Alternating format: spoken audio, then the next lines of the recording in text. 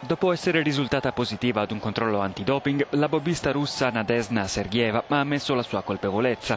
Ad annunciarlo è stato questo sabato il Tribunale arbitrale dello sport di Losanna.